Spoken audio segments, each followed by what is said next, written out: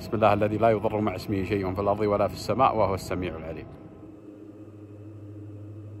قرية الفاو الأثرية عاصمة مملكة كندا الأولى أحد الممالك العربية القديمة في نجد ومن أهم المواقع الأثرية في شبه الجزيرة العربية لأنها عبارة عن تجسيد متكامل للمدن العربية قبل الإسلام وتقع في المملكة العربية السعودية في الجنوب الغربي من العاصمة الرياض.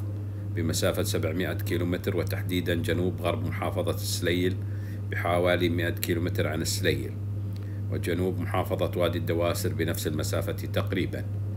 وبالتحديد في المنطقة التي يتداخل ويتقاطع فيها وادي الدواسر مع جبال الطويق عند فوهة مجرى قناة تسمى الفاو والتي استمدت القرية اسمها الحديث منها تعريفا وتمييزا لها عن باقي القرى المجاورة لها.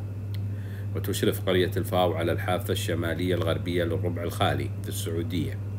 وتبعد قرابة 300 كيلومتر شمال نجران تعد من أكبر وأشهر المواقع الأثرية في السعودية.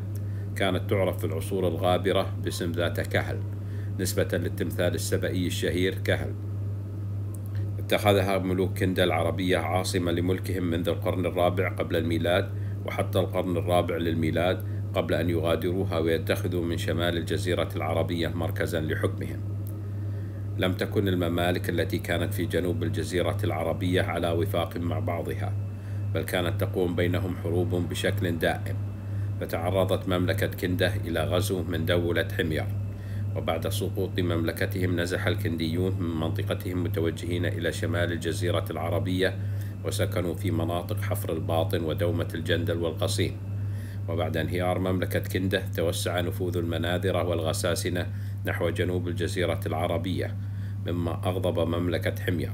فعملت على إعادة تأسيس مملكة كندا الثانية لمواجهة خطر نفوذ المناذرة والغساسنة الذين كانوا يخدمون مصالح دولتي الروم والفرس.